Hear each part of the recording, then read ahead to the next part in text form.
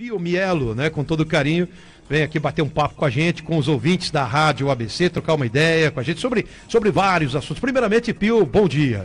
Bom dia, é uma honra estar aqui na Rádio ABC, que é um dos principais veículos de informação, qualificação do nosso grande ABC. Muito obrigado pela visita. Gabi Tricânico está com a gente, ela que organizou essa entrevista, essa visita gostosa aqui com o Pio Mielo, falando sobre vários assuntos. Gabi, um abraço, bom dia. Bom dia, Ricardo Leite. Bom dia a todos os nossos ouvintes da Rádio ABC. Mais um de olho na cidade, né? Hoje, quinta-feira. Esse friozinho, com cara de inverno, verão, né, Ricardo? pois é, cadê o verão, né? Cadê o verão, né? Cadê o sol? Bom dia, Pio. Bem-vindo.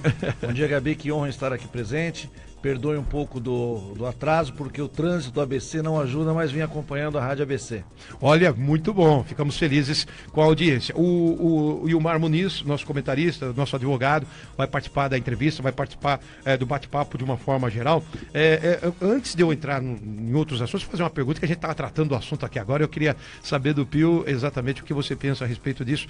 O que, que você achou dessa viagem dos prefeitos para o exterior? A gente nem sabe se voltaram. O que, que você achou dessa história? Pelo menos o de São Caetano já voltou, tivemos uma extensa agenda terça e quarta-feira.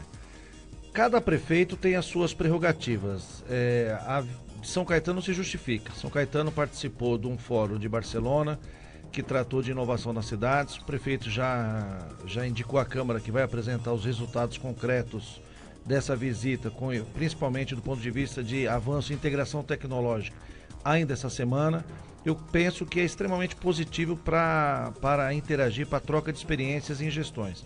Você tem um vice-prefeito, você tem a Câmara, você tem outros atores que conduzem a cidade. Não pode é virar uma frequência, como outros prefeitos de grandes capitais o fazem. Eu acho que pontualmente os prefeitos de cidades importantes como São Caetano, São Bernardo, Santo André, trocar experiência com outros gestores eu acho extremamente positivo. Tá certo. A avaliação que você faz da administração Auríquio de 0 a 10, até agora como bom professor que sou, é, a, analisando o dia a dia, eu, passo, eu daria uma nota 8 para ele. Né? Estu, estudiou, estudou, se esforçou, passou nas provas, não atingiu a plenitude de 10 porque a cidade ainda nós recebemos com muitas dificuldades. Mas creio que a tendência para os próximos anos é a gente chegar à nota máxima. Gabi. Pois é, Pio, você considera que a cidade de São Caetano do Sul é uma Smart City? Ainda não. Eu creio que no Brasil não há nenhuma cidade do ponto de vista real de Smart City, mas São Caetano tem condições e avança para isso. Nós temos uma cidade geograficamente pequena, com 15 quilômetros quadrados, já com uma boa infraestrutura. A partir da retomada de investimentos, eu creio que a gente possa chegar a uma cidade Smart City, que nada mais é que, do ponto de vista tecnológico, tudo integrado. É, eu vou fazer uma pergunta aqui, me perdoe. É, eu sei o que é, mas assim, só para deixar claro para o ouvinte, o que é uma cidade Smart City? Você pega, por exemplo, vamos usar o exemplo de São Caetano. Você faz um cadastro para conseguir um benefício social, uma cesta básica. Faz um outro cadastro para conseguir levar, matricular seu filho na escola. Faz um outro cadastro para você conseguir ter acesso à saúde. É, uma cidade Smart City, uma cidade inteligente, uma cidade com tecnologia de ponta, você integraria todas as secretarias, todos os serviços num único sistema. Câmeras de segurança, banco de dados unificado, é, gestão social de cada cidadão. Então você traria inteligência tecnológica para o serviço público. São Caetano caminha para isso, mas ainda não há nenhuma cidade no Brasil que possa ter esse rótulo de cidade inteligente. só passar a bola, o Wilmar tem uma pergunta? Então, sim, é uma questão até que eu verifiquei com a questão do vereador César Oliva, né? A questão da segurança no entorno de São Caetano, parece que estava tendo um grande problema de assaltos na região. Já conseguiu a Câmara ter uma posição sobre isso? Como vai funcionar essa questão da verificação e segurança do entorno de São Caetano? Isso é uma boa pergunta até em função da Smart City. São Caetano participa, foi uma das cidades contempladas no programa do governo estadual do programa Detecta. São algumas câmeras de alta resolução no entorno da cidade que vai monitorar é, placas de veículos, de, de entradas e saídas além desse, além desse serviço que já está em, em, em fase de execução, de implantação, é, a ideia de Smart City é integrar todas as câmeras da cidade, inclusive de condomínios. Então isso daria uma sensação de segurança e inteligência muito grande para a nossa segurança. A, o entorno, as câmeras do entorno da cidade, das entradas e saídas, através do programa Detecta, já está em fase de implantação. Agora a gente trabalha para que outros sistemas de segurança também sejam implantados. Estamos conversando com o Pio Bielo, que é presidente da Câmara Municipal de São Caetano, está visitando os estúdios da Rádio ABC. Gabi. É, vereador, presidente, é, na última terça-feira teve a primeira votação do orçamento para 2018. Qual que é a sua avaliação? Um orçamento que ele foi ousado do ponto de vista da gestão pública da cidade. Primeiro porque ele entendeu, é, nós não, não, apesar de toda a crise que o país vive, que a cidade vive, os, os principais programas sociais não foram prejudicados. Ainda não há espaço no orçamento para a retomada de investimentos. Aí eu acho que é importante, inclusive, São Caetano é, sair um pouco aí do seu, do seu, do seu micromundo e buscar financiamentos internacionais, buscar parcerias de organismos internacionais, até se justifica um pouco dessas viagens internacionais. Hoje, com o Tesouro Público, o Tesouro Municipal, o recurso que a gente recebe, ele é praticamente tomado para o custeio da cidade, com funcionalismo e a devolução de serviços para a população. Para novos investimentos em infraestrutura, em obras públicas, hoje a cidade está estrangulada. Mas este orçamento que veio em primeira discussão foi aprovado de forma unânime, respeitou o histórico de São Caetano de investir além dos percentuais exigidos pela Constituição em educação e em saúde. A Constituição exige 25% em educação, vamos chegar a 33, 15% em saúde, vamos chegar a 23 é, numa, numa, primeira tomada, esse investimento ele pode ser ainda maior. Então mostra que mesmo com a crise, a preocupação com o investimento social, o prefeito, o governo, a Secretaria da Fazenda o manteve.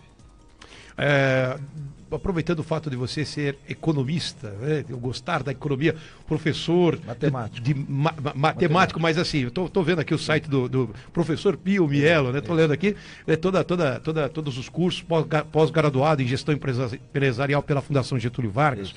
Aproveitando tudo isso, Pio, é, é, dentro dessa da, da, questão macro, o Brasil de uma forma geral, porque a crise no Brasil influencia, obviamente, os estados e, consequentemente, as cidades. Né? Não adianta você estar tá aqui, a cidade bem cuidada, tentando fazer as coisas, e de repente o estado está remando para trás ou o país está remando para trás. O que, que você está achando dessas últimas é, é, notícias referentes à economia brasileira? O que, que você. Isso está então influenciando, está ajudando na condução de São Caetano, está atrapalhando o dia a dia do, do, do cidadão de uma forma comum?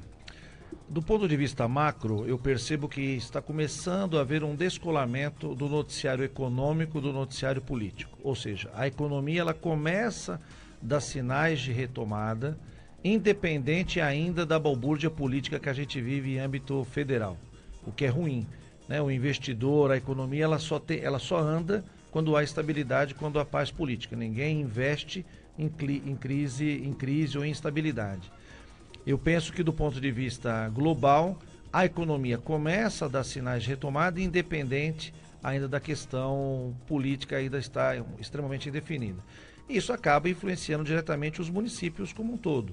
Você pega São Caetano do Sul, que é uma cidade que nós temos uma arrecadação ainda muito vinculada ao setor automobilístico. Nós temos a General Motors na cidade, nós temos a Transpetro na cidade, que é um setor extremamente sensível a decisões econômicas, macroeconômicas.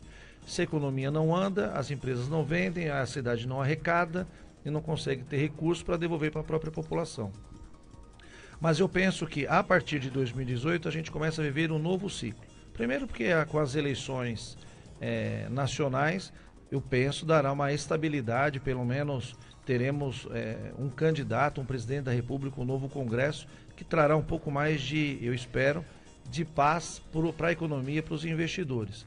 E do ponto de vista municipal, nós estamos tomando todas as medidas cabíveis para atrair novos investimentos. Só para você ter uma, um dado concreto, estamos São Caetano esse ano conseguiu atrair uma nova grande rede de, supermercado para a cidade, uma rede que lá estava mais dois supermercados, trouxemos um grande laboratório alemão para a cidade. Então são investimentos, é, é, propostas que São Caetano vem tendo, é, que o governo vem aplicando para que a gente atraia investidores, atraia empresas independente da crise econômica que o país vive. Olha, eu sou refém do tempo. O, o Ilmar, uma última pergunta, Ilmar. Não, é só, na verdade, que teríamos colocado esse estado de segurança pública. É, uma outra colocação sobre os, tem um hospital em São Caetano que parece que foi agora que o Vitor Neto nos passou, que foi reformado, só que não tem a contratação de funcionários. Tem uma previsão para isso? Não.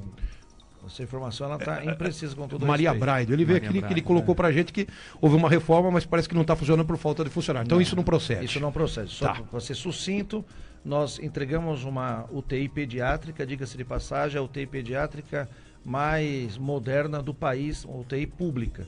Acontece que a obra, com os vendavais, com as tempestades que houveram semana passada e retrasada no Grande ABC, principalmente São Caetano, houve uma pequena infiltração, a obra estava na sua garantia e está sendo refeita para que não haja nenhum problema, inclusive deve ser reentregue por esses dias.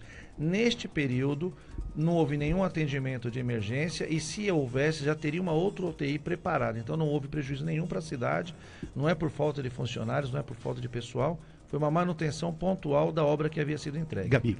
Uma última pergunta, Pio. Presidente, qual que é a avaliação do mandato?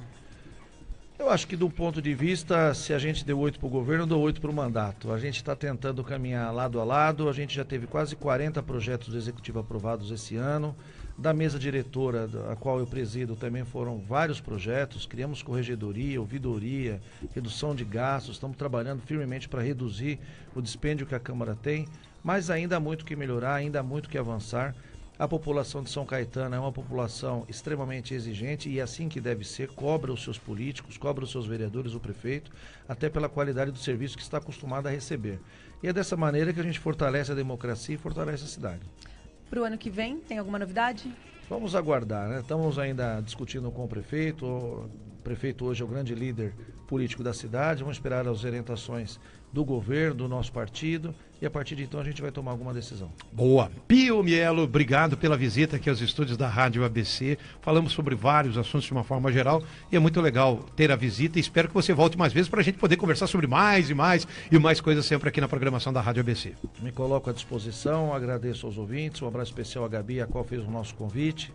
Peço novamente desculpas pelo limite do horário, Sim. mas estou aqui sempre à disposição da rádio, dos ouvintes, o que a gente puder ajudar. Grande abraço.